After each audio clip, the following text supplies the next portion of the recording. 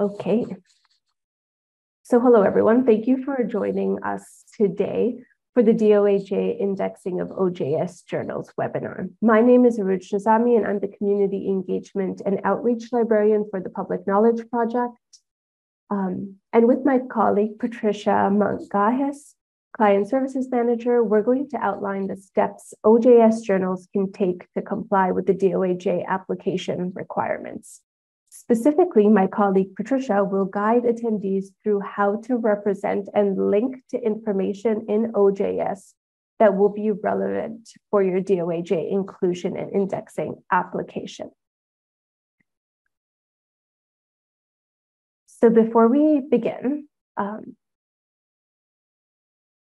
I'm going to give a brief overview of the Public Knowledge Project and OJS by extension and also the directory of open access journals. Then I'll share the importance of applying to be indexed, excuse me, by the DOAJ before turning it over to Patricia for the demonstration portion of the presentation. So the first few slides that I'm going to cover are relevant to those who may not be using OJS, whereas the second part of the presentation and the bulk of the presentation with the demonstration will be specific to those that use OJS. So the Public Knowledge Project is a core facility of Simon Fraser University. PKP builds scholarly publishing workflows and platforms for the publication of peer-reviewed journals and books, as well as for posting scholarly preprints. The subject of today's presentation and the software PKP is perhaps best known for is Open Journal Systems, or OJS. PKP has cultivated a diverse international community that benefits from its publishing software and research around scholarly communication. So, more than 30,000 journals in 150 countries use OJS to publish research in more than 60 languages, making it the most widely used scholarly publishing software in the world, benefiting academic communities as well as the wider public. A recent study found that 60% of OA Diamond journals use OJS, so diamond meaning those that do not charge fees to readers or authors. PKP also has publishing services uh, that does provide hosting and support services for its clients. For our community, PKP maintains a support forum where community members can seek and offer support to one another. Um, and also, we, we maintain a documentation or docs hub which includes documentation for the practical implementation and use of our platforms, as well as best practices in scholarly communications. So our presentation today is actually based on a lot of this documentation, as well as documentation from the DOAJ that, and the documentation from PKP can be found in the Docs Hub. Of particular note is a guide titled DOAJ Application Guide for OJS Journals, which is in the process of being updated um, and will be released shortly. You can, however, find the current version of this guide online and available now, and I'll be sharing links to those in, um, in future parts of our presentation. The Directory of Open Access Journals, or the DOAJ, is a unique and extensive index of diverse open access journals from around the world. DOAJ contains a vast collection of over 19,000 open access journals. More than 13,000 journals listed on the DOAJ do not charge article processing ch uh, charges or APCs, making them more accessible to the wider public. The DOAJ index encompasses a wealth of knowledge with over 8 million articles representing a global perspective, including journals from over 130 countries, also in diverse languages, with journals available in over 80 languages. So the DOAJ lists five main reasons to apply to be indexed. And the first is reputation and prominence. The DOAJ is a respected community-driven project that serves open access communities and is known for advocating for their best practices. Indexing enhances the reputation and visibility of your journal, standards and best practices. The criteria for inclusion are widely accepted in scholarly publishing. Funding and compliance. So indexing in the DOAJ ensures adherence to national and international funding requirements and global initiatives like Plan S. Additionally, if your research is grant funded, there's a growing expectation for publications to be openly accessible. Many governments and national bodies now mandate that journal indexing in an open access directory is a requirement, and funders and institutions are increasingly relying on the DOAJ as a reference to determine funding allocations for journals and authors. And this is especially true for um, our colleagues in Europe, as well as in some cases in North America as well, and across the globe. But it would be of note to sort of um, do some research and see what what the requirements are where where you are since we're speaking to our global audience today discoverability and visibility the DOAJ metadata is freely available, improving search engine visibility. Supplying metadata enhances exposure through aggregators and in research portals. And of course, the international coverage with which both uh, PKP and DOAJ uh, take very seriously. So by indexing your journal with the DOAJ, you gain access to a comprehensive directory that includes open access journals from diverse countries. With a global editorial team offering local support, your journal's reach extends worldwide. Indexing with the DOAJ not only enhances inclusi inclusivity, but also enhances the international visibility of your journal. So, not being indexed by the DOAJ means missing out on the most comprehensive registries of open access journals that researchers frequently seek out to find content to read and journals to publish in. So, applying for indexation not only improves your journal, but also opens up opportunities for increased visibility and recognition. So before proceeding with the online application, it is recommended to assess your journal's readiness based on the following criteria.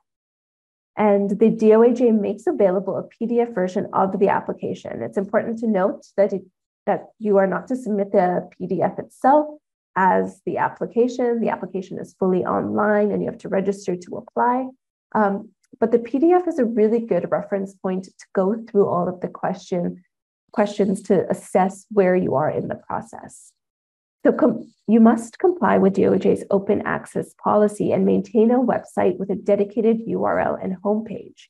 A journal must also have a confirmed journal title and ISSN, so the International Standard Serial Number, and implement quality control processes that include an editorial board, peer review, and restrictions on publishing papers by um, members of the editorial board, board members, or reviewers.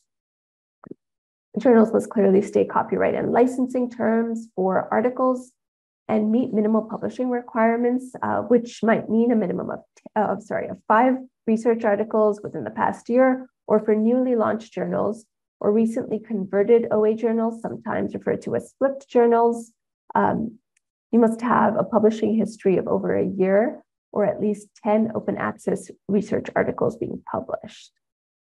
There are also additional criteria for certain types of journals, including student run journals or conference proceeding journals, and information on these can be found on the DOAJ's application guide, uh, which is an incredibly important document, which I will post in the chat. I will post uh, many of these again at the end of of today's presentation. But enough of hearing me, I am going to pass it on to my colleague Patricia for the main event. I'm going to hand it off um, and mute myself. We will take questions at the end of the presentation. Thank you so much. All right, thanks so much, Urooj. Um, so for this section of our presentation, I'm going to highlight points from, as Urooj mentioned, um, our documentation, as well as uh, DOA's own uh, best practices guide. Um, I'm going to go over where in your OJS installation you can put the various information that's going to be required as part of your application. Also going to uh, highlight examples of accepted journals and how they have chosen to display um, the required information. Um, for this demonstration, I am going to be using um, a version of OJS, uh, so OJS 3.3. So if you're using a different version, um, the navigation and pages might be slightly different. Right. So as Urooj mentioned, in your DO, DOAJ application, you'll be asked to provide various links um, that point to key requested information shown on the screen here. The great news is if you are using OJS, a good portion of this requested information will be displayed on your journal homepage when you enter the information in the designated fields of your journal settings. And most of the information that you'll need to present can be entered within your main journal settings. So I'm going to start off with the journal and publisher information. So the journal and publisher information uh, should be entered in your journal settings tab within your masthead. So if you're on OJS 3.3, it's going to be in your journal. Uh, masthead and contact tab is going to be the two key areas you're going to be entering that information in. So the journal title that you input here must match the what you have on your application and on your ISSN. If there is a translated title, this should be entered as an alternative alternative title in the designated locale field. Um, so for example, if I have a multilingual English and French journal, um, the French translation of my journal will be should be entered in this field here. Um, the publisher information should be entered in two key places. Uh, so your publishing details here, as well as your contact information in the contact tab. Um, information about ownership and the management of your journal should be clearly indicated on your journal's website. Um, if a journal is affiliated with a society, institution, or sponsor, links to their website should be provided uh, where available. So some journals may choose to include external links from to their affiliated body from their navigation page or embedded as links in the journal description um, or um, embedded as logos on the sidebar.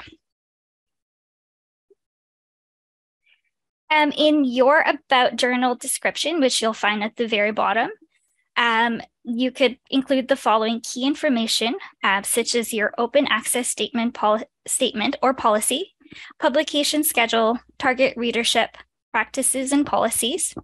As you will likely be displaying a lot of information here, we would recommend utilizing headers to keep that information organized. You can also choose to display some of this information um, on your sidebar if your theme allows, as well as your footer.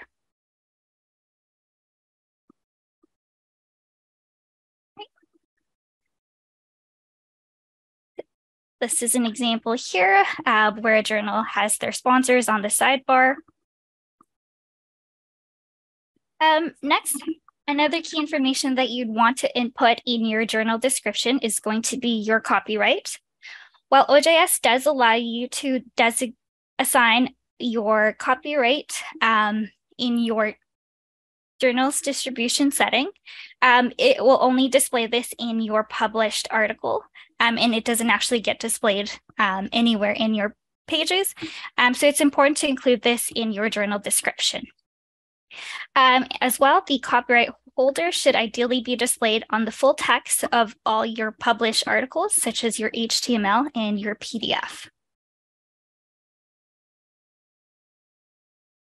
Moving on to your aims and scopes, uh, this should also be included um, in your about journal description, um, and it could also be included in your author guidelines.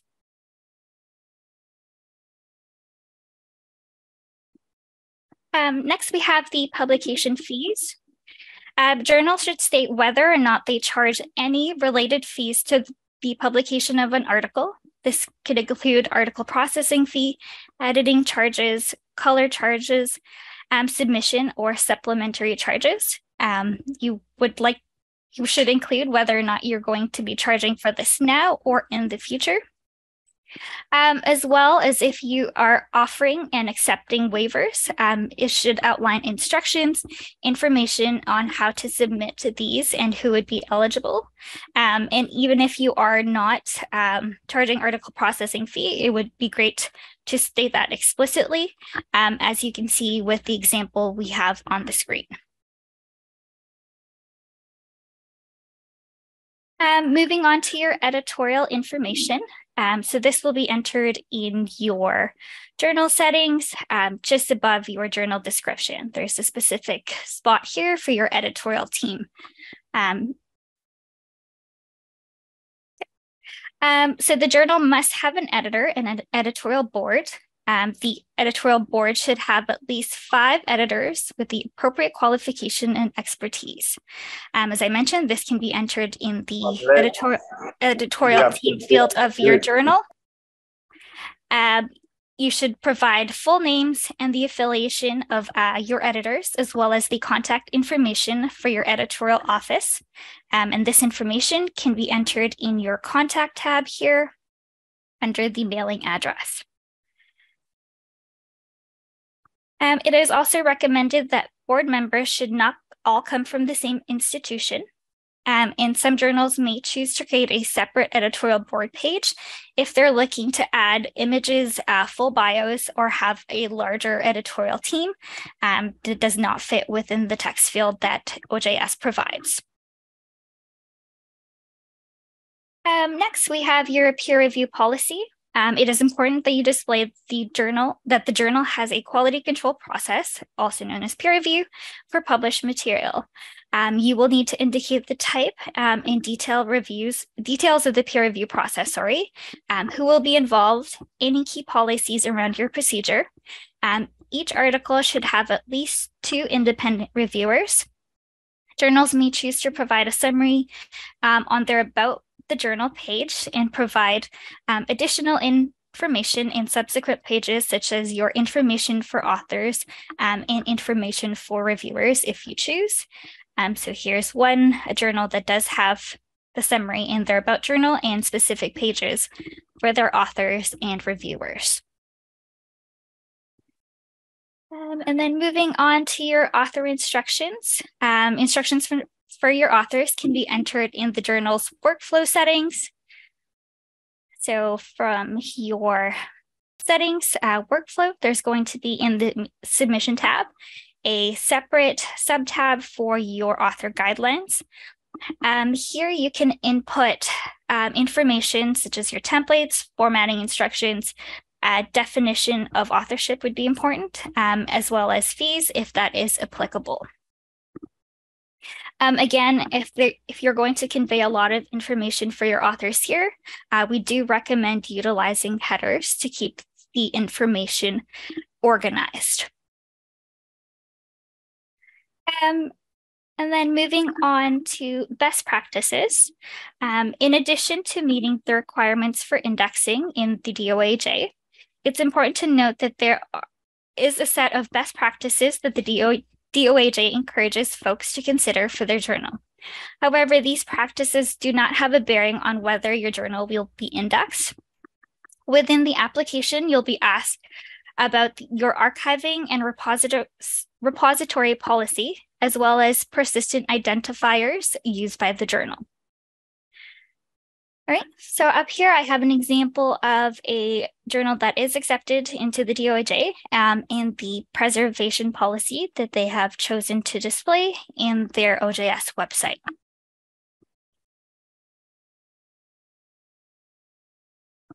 Um, finally, um, OJS does offer the following integrations for these using these plugins uh, that will allow you to display various persistent identifiers which, as you may already know, are long lasting references to digital resources. The ORCID plugin um, helps to ensure that authors and researchers can ensure that their work is properly and thoroughly credited, whereas the ROR plugin, um, available on OJS and OPS, um, enables authors to find and add the organization that they are affiliated with uh, from the list of organizations. And last, we have the DOA, sorry, DOI plugin, uh, which assigns these long-lasting references uh, to objects, including journals, um, journal issues, journal articles, and supplementary files. Um, and then for those that are interested, we do have a list of our resources, um, which we've mentioned throughout our presentation. Um, so these will be the best practices guide, DOI, DOAJ application, um, DocsHub, as well as our support forum. Um, and for those that want to take a look um, in more detail of the journals that we highlighted in our presentation, um, these will be the titles um, and then the direct links, oh, sorry, uh, for those um, for further details. Um, and then I'm going to turn it back to Urooj um, to let you know about our next event. Thank you so much. So as a follow-up to this webinar, PKP will host a panel discussion moderated by the DOAJ's Judith Barnsby on the 28th of June at 8 a.m. Pacific time. Panelists will be made up of journal, journal editorial boards, as well as librarians who support publishing and institutions who support open publishing. Um, and essentially, panelists will share their experiences as they applied and were indexed by the DOAJ. So this will include sort of, you know, the the things that went well, the things that took a little more time and consideration. And so we really expect this to be sort of the follow up to this webinar. Um, so while you're in the process and you're starting with the process and you want to hear about people's experiences as they've gone through it, please do join us for, for that webinar. Um, and information about that will go out after, after this, um, along with the slides and the recording for this presentation. But now I, I will open the floor up to questions you may post in the chat, and I'll try and facilitate questions to Patricia, or feel free to un unmute yourselves and ask, ask us directly.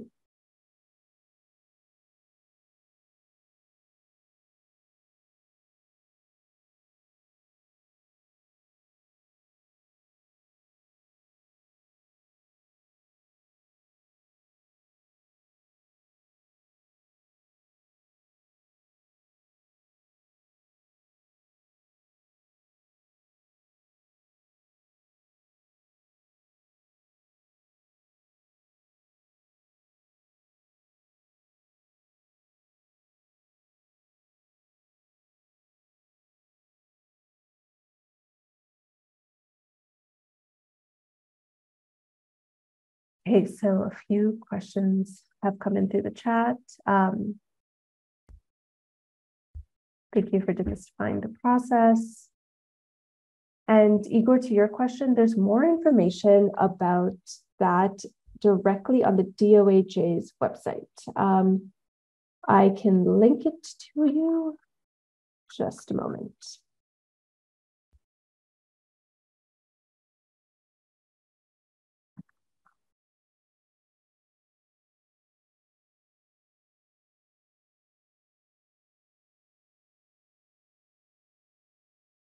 Okay, so I'm taking this directly from the guide to applying.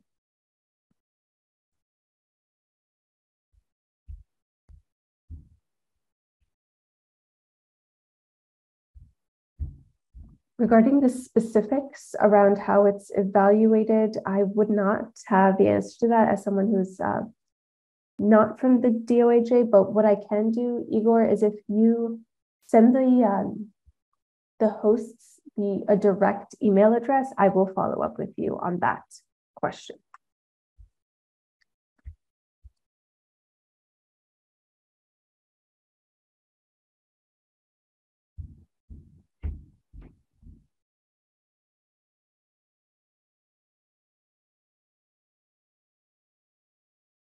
Oh, Patricia, I just see that you beat me to it. What am I doing?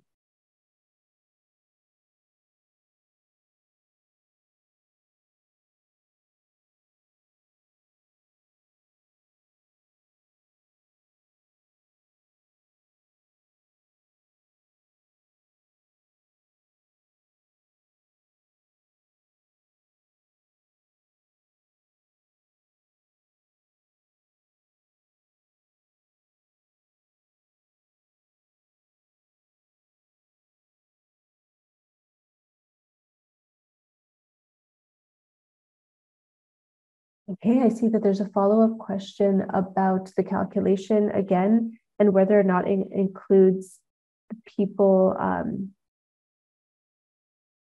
as editors? I, I don't have the answer to that question. Patricia, would you happen to have a sense of this, or is it something I can follow up with afterwards? Um, I think that question might be better um, answered by someone from DOAJ. So we'd definitely be happy to follow up if you can provide um, your email um, directly directly to Urooj or I. We'd be happy to get help get the answers for that. Thank you very much. I don't I don't think we're going to fail the criteria, but I just wanted to make sure I know how it's being assessed.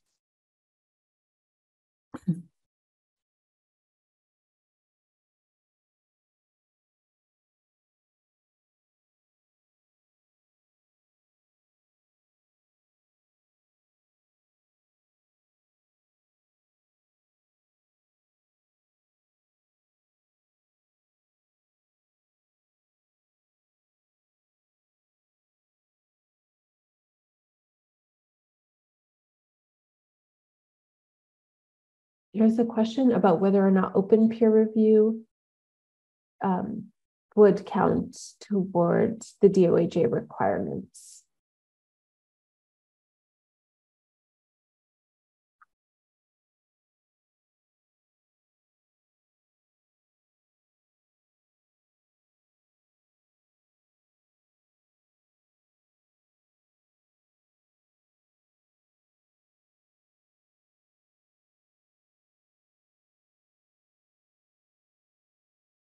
Patricia, sorry. Sure.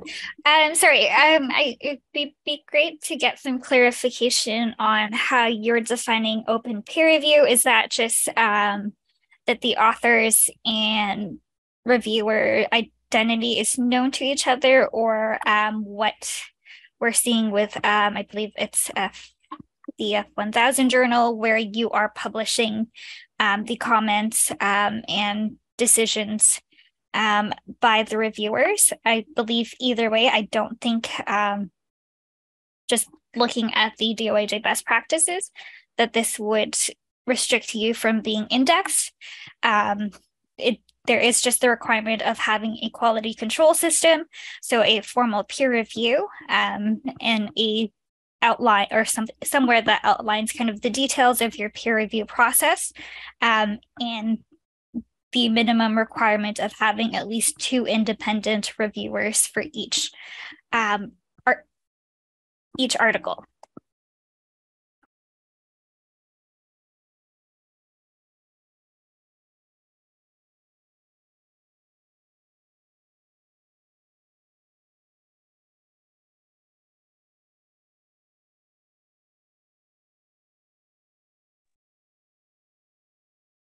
When do you recommend to use a single static page instead of putting all necessary information in the about text box? Patricia? Um, yeah, so I think that's just a matter of how much text you want to display and how you want to display it.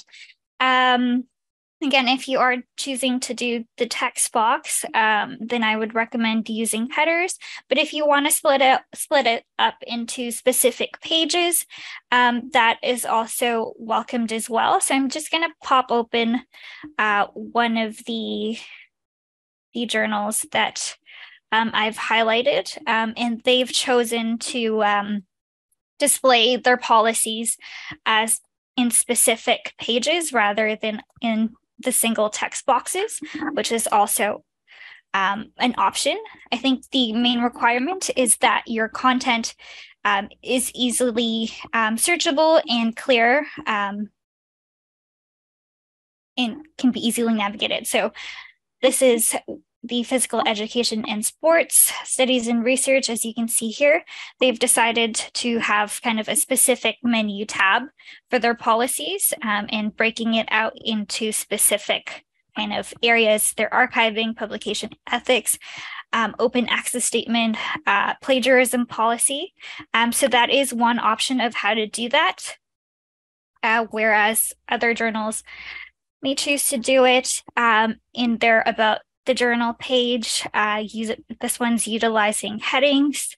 Um, for example, if you are looking to display a lot of text, there's also the option if you um, are able to and um, and have kind of the CSS knowledge uh, to utilize things like a um, hamburger menu, as you can see here, um, to e allow users to easily navigate those content.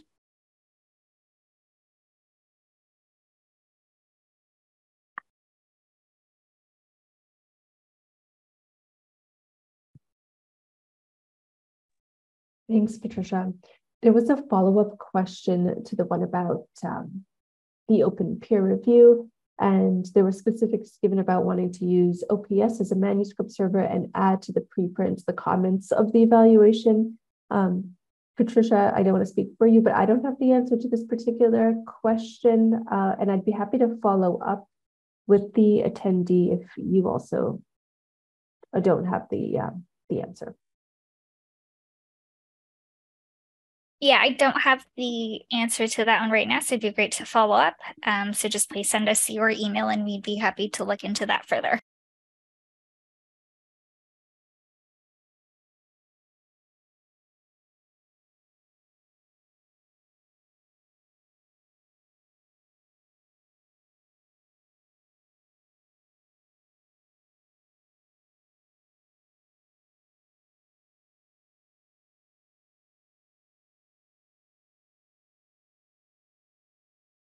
Another question came in about the OAI of an OJS journal and whether or not um, we can evaluate if, if it meets the requirements.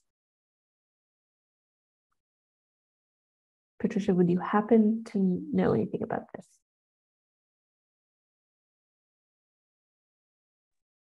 I don't, but taking a look at like DOAJ's uh, documentation, it looks like they use OAI um, dash PMH, which is what um, OJS um, offers as well. Um, and in terms of transferring or sending your content um, to DOAJ, it, it, once you are accepted, um, there is a plugin, I believe available on most versions of OJS, that would facilitate um, the registry or deposit um, of your articles um, into DOAJ.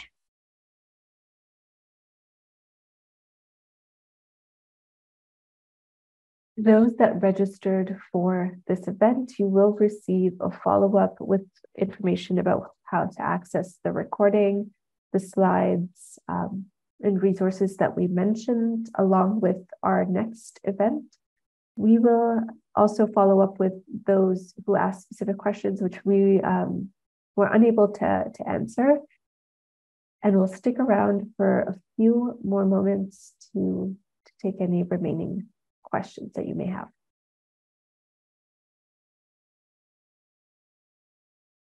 Thank you all for taking time out of your day and attending this webinar.